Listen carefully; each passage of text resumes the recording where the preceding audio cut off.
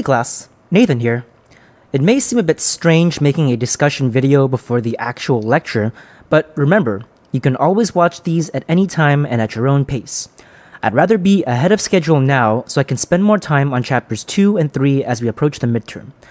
I notice that many students find those chapters particularly difficult, and it also appears the most on the midterm. Oh, and one last disclaimer. Although I may skip some sections for lack of time, it is ultimately Professor Liebeck's discretion regarding which material is important, so consult with him for the most accurate statement. Anywho, we begin in section 1.4 with a bit of review of the definitions of pressure, density, temperature, and flow velocity. Much of the equations in chapter 1 and 2 are created using first principles and are differential based, so it's important that we define these above concepts as they apply to a fluid point. For instance, pressure is our main unit of transmitting force in this course. It is the definition of lift and drag, and we normally are used to seeing it as average pressure, which is the average force divided by the average area. It is more correct, however, to define pressure as being the change in force divided by the change in area.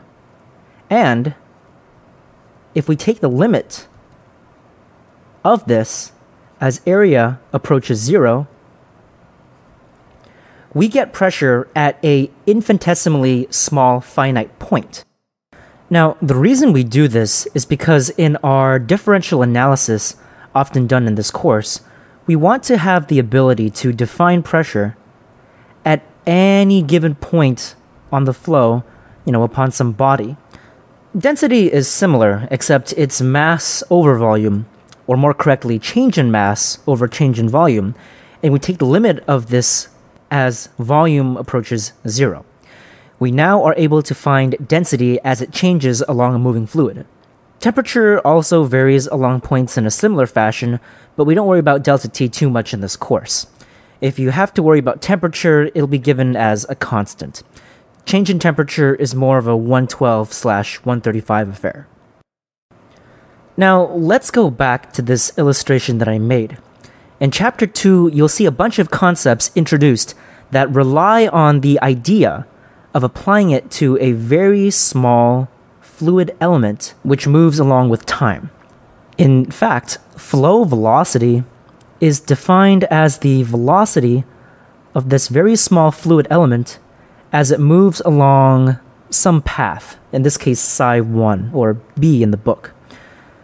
This path is also called the streamline, which will be of great importance in a few weeks. This last fact is notable because the fact that this element moves along some path means it not only has a magnitude, but it also has a direction as well. It is a vector quantity, which will be of note in chapter 2. So far, we have pressure, which acts normal to some surface. Recall, however, in 130a, when you learned about boundary layers in viscous fluid. Consider this.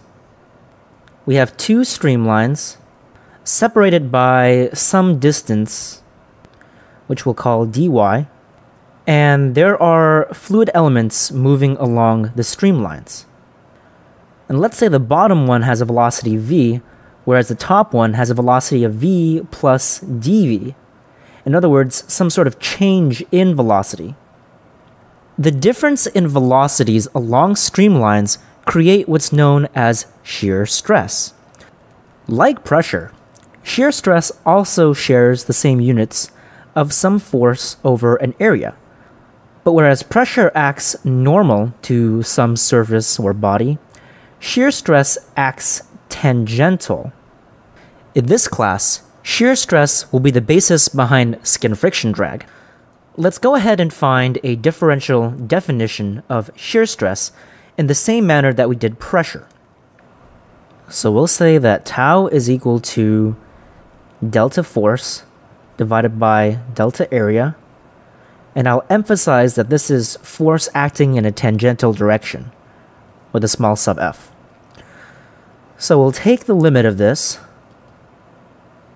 as the area approaches zero. And thus we get our differential definition of shear stress.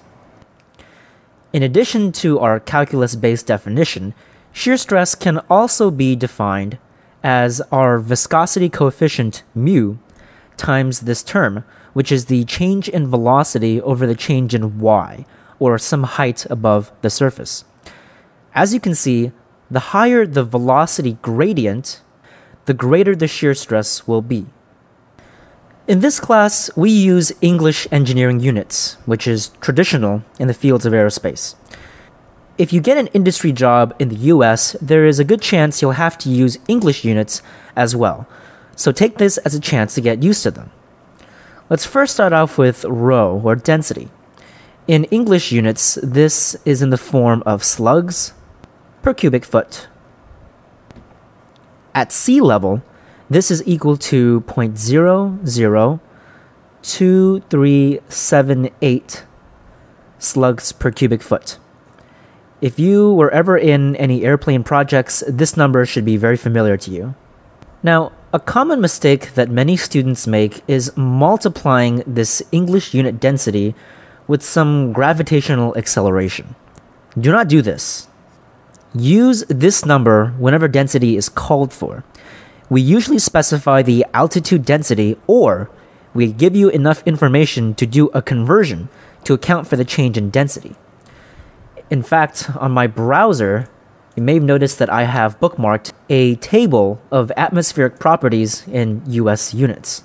Here I have density, temperature, and standard pressure. In addition, I also have speed of sound. Tables like these will be very useful in 158 because a lot of the problems are more practical and will call upon information at certain altitudes. Additionally, in 159, you'll have to program many of these values into your code depending on what stage the aircraft is and, of course, what altitude you're designing for. Now, most of the coefficients for lift and drag, as well as most of the math done in this class, are based around feet per second. That being said, however, your velocities may often be given to you in miles per hour or nautical miles per hour. So it is a good idea to know how to convert between these and feet per second. So now we move on to really what is the meat of the course. In aerodynamics, we're concerned about forces such as lift and drag acting on a body, typically a wing, tail, or fuselage. These forces come only from two sources pressure and shear stress. In fact, between P and tau, this is the only way that a fluid can influence a body. Remember that pressure acts normal to a surface, whereas shear stress acts tangent. And together, these two impart a distributed force over a given body. Now, recall in statics and MAE 150 how we can summate distributed forces into a singular resultant force and a moment. Well, let's assume that we can put this resultant force somewhere on the body such that the moment is not required. In other words, this singular resultant force is equal to the distributed forces of our previous pressures and shear stresses. Just want to do a quick reminder that pressure and shear stress can occur on the upper and lower surfaces of the body as well. Anywho, also recall in 150 that we could decompose a given force onto some coordinate system. So let's go ahead and do that right now. Let's think of our chord line as the x axis and we can also think of a line perpendicular to that to be the y-axis. So we're going to go ahead and decompose our resultant force into an x and a y direction. And I'm going to go ahead and change colors. Let's make blue be what we now call the normal force. And I'll go ahead and use the red color now to represent what we're going to call an axial force. So now we can go ahead and define two new forces that act on our body. A normal force, which acts in the y direction or perpendicular to the chord line, and an axial force that acts tangential to the chord line. So, just a quick summary we've taken these pressures created by shear and pressure, and we've summated it into a resultant force.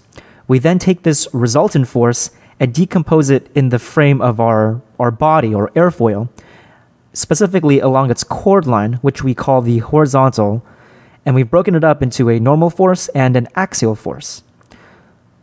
So, this system works pretty well if the x axis or chord line happens to coincide with the free stream velocity, which we'll call v infinity.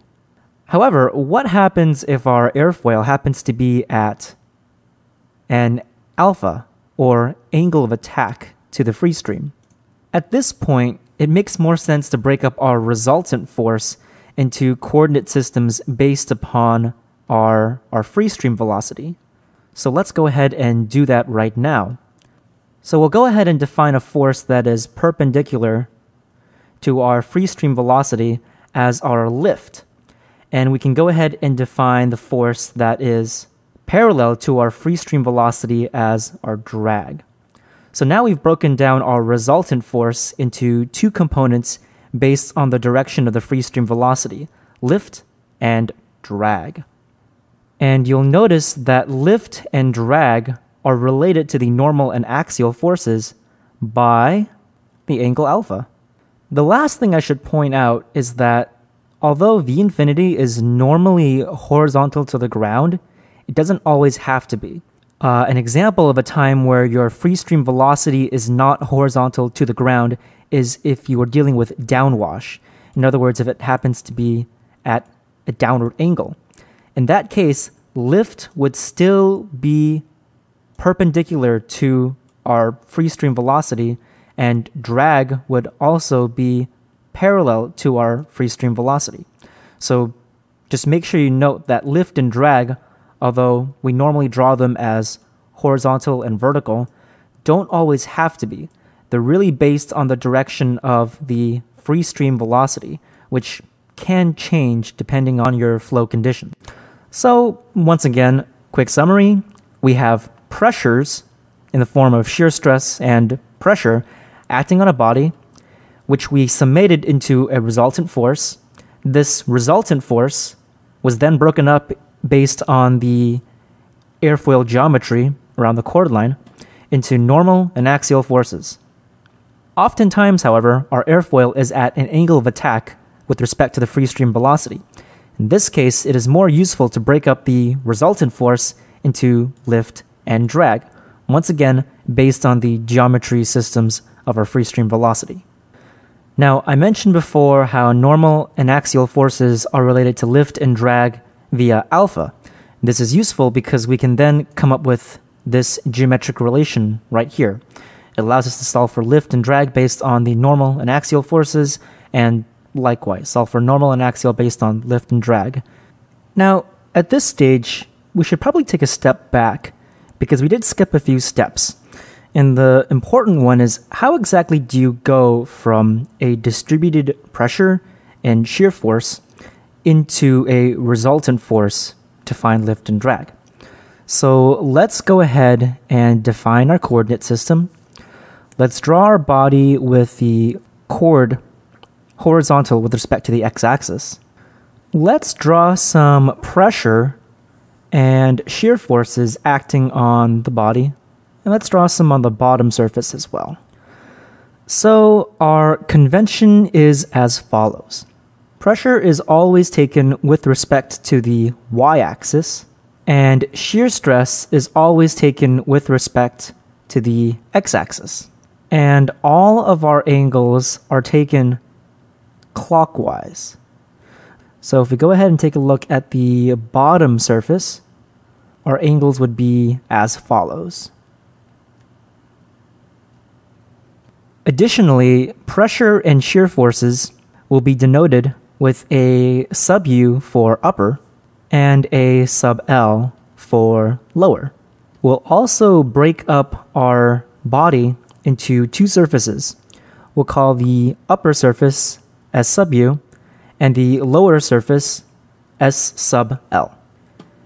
And here we see this drawing reproduced in the book. So that is our angle convention. Remember though, we're trying to summate a distributed force, not just at specific points. This means we have to use an integral. Now, at this point, it's worth noting that we're actually dealing with a 3D surface. Fortunately, it's a 3D surface with a unit length 1. So we merely need to perform a surface integral rather than a line integral. Let's go ahead and define ds as a very, very small portion of the body's surface, which happens to be the upper surface. Let's go ahead and add the pressure and our shear forces. We'll also go ahead and add our angles. Using geometry, we can say that the total normal force over this small part of ds is equal to our negative pressure from our upper surface times our area, in this case ds sub u, times cosine of our angle theta minus our shear stress for the upper surface times our area of the upper surface times sine theta. And similarly, for our axial forces for our upper surface, we can say that it is equal to negative upper pressure times dsu times sine theta plus tau upper times dsu times cosine theta. So essentially what we did is we just looked at this picture and all of the components of force pointing upwards, we added to our, our normal components. And all of the forces that pointed parallel to the chord, we added to our, our axial forces. And these negatives are just because of the, the theta convention. Now, if we repeat these same steps except on pressure and shear forces on the bottom surface of our airfoil, we get this relation. Our normal forces for the lower surface is equal to our lower pressure times our dsl times cosine theta minus our shear stress for the lower surface times ds lower times sine theta and the same thing for our axial force for the lower surface is equal to our lower pressure times ds lower sine theta plus our tau lower minus ds lower cosine theta. Okay, so now we have two equations for normal and two equations for axial. In order to find the total normal force, that is for both upper and lower, we have to integrate the top surface and we have to integrate the bottom surface. And we add these together to find our total normal force for the entire airfoil. And lastly, our integral bounds are going to be basically the start and end of our chord line. It's going to be from the leading edge to the trailing edge of our airfoil. In other words, our bounds are dictated by the chord. So integrating between leading edge and trailing edge. Leading edge and trailing edge.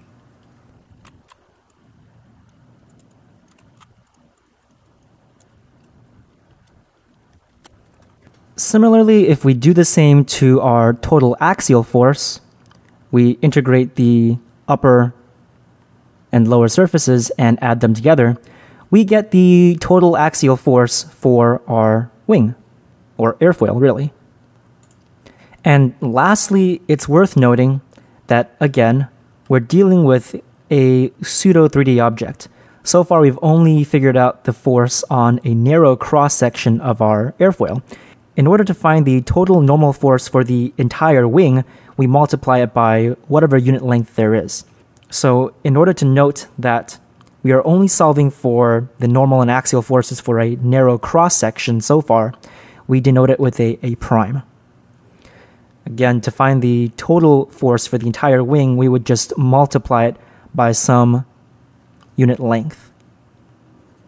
Um, of course, assuming that the rest of the wing has the same profile as what we've just solved for. If it differs, the integral becomes a bit more complicated. But don't worry too much about that for now. Just note that's why the book notates normal and axial forces for a cross section with a prime. Now, we more often deal with lift and drag rather than resultant forces.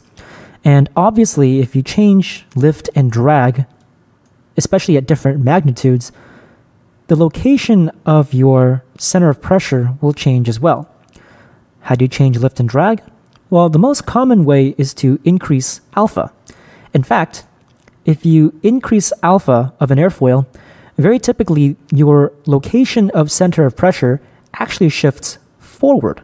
Now, even though this is more of a 175 concept, I note it because technically at this point in time, you have enough information to mathematically prove why center of pressure typically moves forward for most airfoils as you increase alpha. Pretty interesting, right? But, anyways, I suppose we'll go ahead and move on into how to actually solve for the location of center of pressure. Now, don't forget, I noted that in all of these scenarios, our airfoil is perfectly balanced, which means the moment at all of these three situations are equal. So let's go ahead and use our force balance skills to see if we can't write an expression for the location of the center of pressure. So I mentioned that all three of these scenarios have equal moments. So let's look at the moment for this scenario. It is the moment at the leading edge, and that's about it. The resultant force acts on the location that we're measuring the moment from, therefore, it contributes nothing to the moment. So this is equal to this scenario. And here we have the moment at the quarter chord location. And we also have some force acting at a distance from the location that we're measuring. Now, because the axial force runs through the location that we're measuring, it does not contribute to any moment. Therefore, we only have to worry about lift. So the moment caused by lift is equal to the distance which is the quarter chord distance, so one quarter times our chord length, times our lift, and don't forget we're dealing with um, a cross section here, so we have to have our primes. And then it just so happens that our convention requires a negative sign in front of this expression. So that is the moment created by this scenario. And then lastly, we just have this one.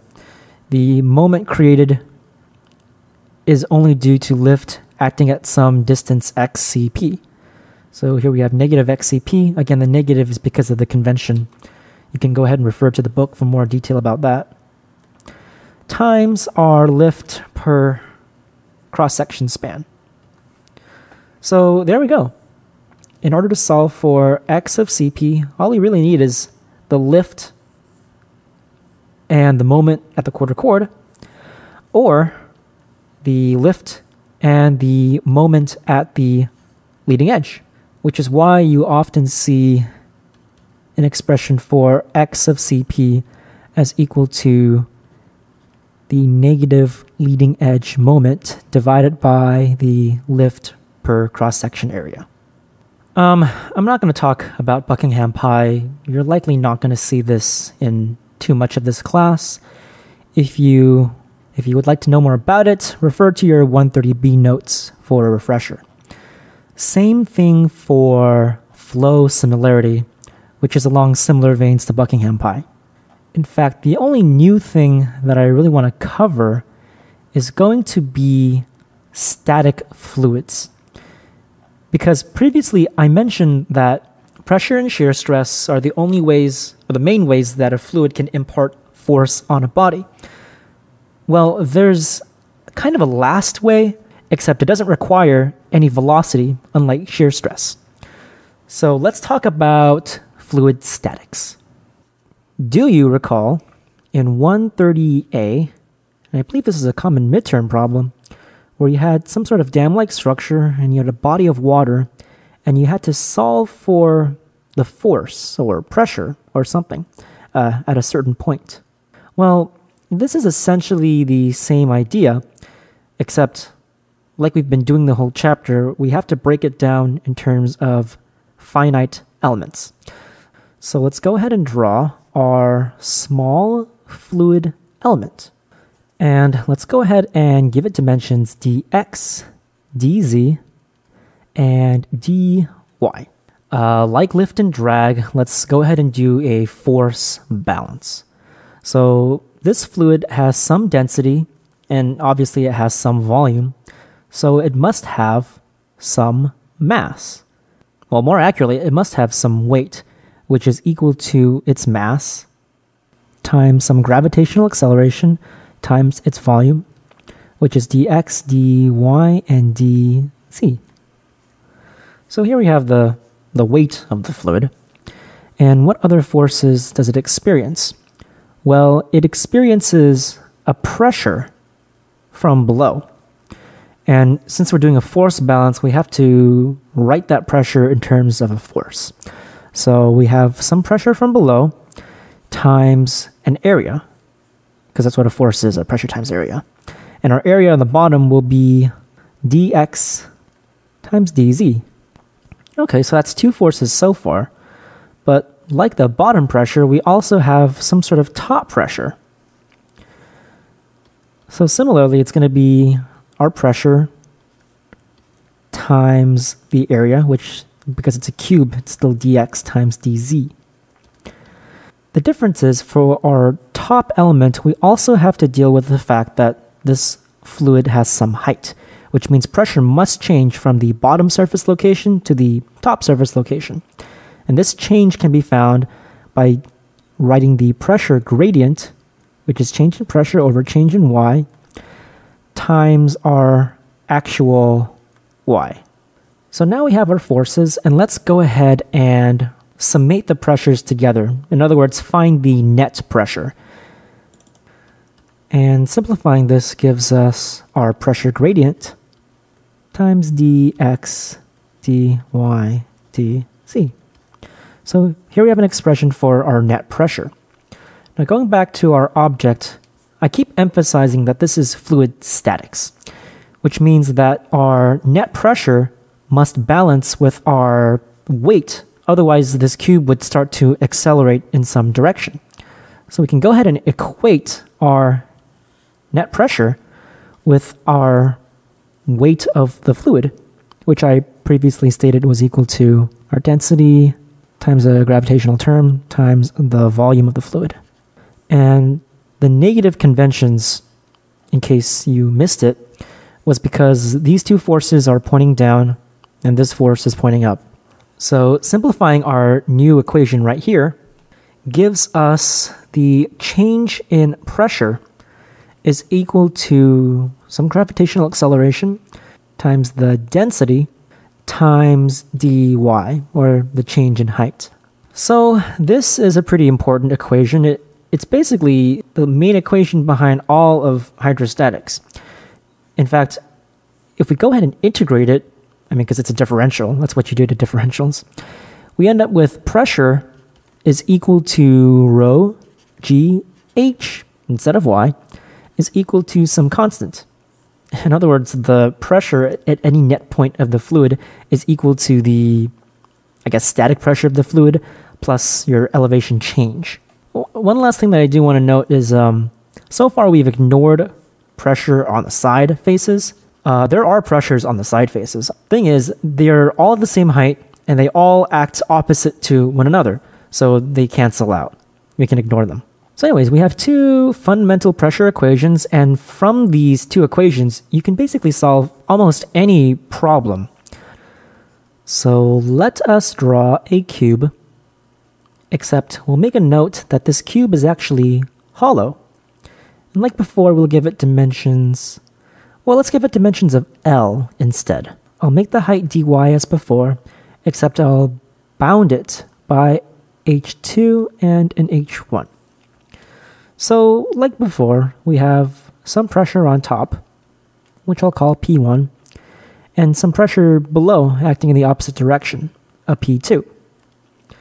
Let's go ahead and use our first differential equation to see if we can't uh, write an expression for this scenario. So dP, change in pressure, well, that just becomes our lower pressure minus our top pressure. So this becomes equal to, and what's on the other side? We have a negative gravitational force times the density of the surrounding fluid times a dy. And since we kind of integrated the left side, we should do the same for the right side. And our integral bounds are h2 and h1. In order to get rid of that negative sign, what you can do is you can flip the bounds around h1 to h2 times gravitational acceleration, density of the surrounding fluid, times dy. Now, some of you might be thinking, if this cube is hollow, how can it have a weight? And you're correct. The cube is hollow and it has some sort of net pressure on it. Since it has no weight, there must be some net force on this side of the equation to balance this change in pressure. And that's precisely what we're solving for. We're trying to solve for the buoyancy force created by putting, or rather displacing, fluid around some cube. So, how do we go from pressure to force? Well, pressure times area is force. And what area are we referring to? The area of the top and bottom faces. So essentially, L squared on both sides. So this becomes some force that we're solving for. And let's go ahead and integrate this. Becomes gravitational force density times delta H times area. Let's rewrite this in a more general form. So gravitational acceleration density delta H is essentially some length and we have L squared. Well, what's a length cubed? That's a volume. Our buoyancy force is equal to the weight of the displaced fluid. This is pretty important because we've essentially stated that the buoyancy force is equal to gravitational acceleration times the density of the surrounding fluid times the volume of our body, the volume of this cube. This is also known as Archimedes' principle. And lastly, it's worth mentioning that because our right hand term is positive, this direction points upwards. In other words, as you might expect, in this model, buoyancy is a lifting force. Usually, we don't consider buoyancy when dealing with aircraft. It only becomes relevant when the volume displaced is huge relative to kind of its planform size, such as a blimp or a balloon. Or it's relevant when the fluid is very dense, such as water. Be careful that you don't neglect it if a problem is phrased in such a way that you have to consider not only lift and drag, but also a buoyant force as well. The last part of this chapter is basically a precursor into the various types of fluids. I'm only going to mention the types of fluids, in fact, the narrow types of fluids that we consider in this class. So let's see. In this class, we deal exclusively with continuum flow. In other words, the, the spacing and density, rather, of the molecules is considered great enough that it's a continuum flow rather than being very far apart and spaced out, um, such as space, for instance. Uh, in this class, we deal with inviscid flow. This is possible because most of this class deals with the effects outside of the very small boundary layer, which essentially behaves more or less as an inviscid fluid. Further simplifying things, we deal with incompressible flow only in this class. This is because the fluid velocity that we explore is typically at a low enough Mach number. you'll have plenty of opportunities to deal with compressibility in MAE 135. That means for 136, at least, we can skip over Mach number regimes and you don't have to worry about critical flow and shock. That actually does appear in 158, though, so don't get too complacent ignoring compressibility.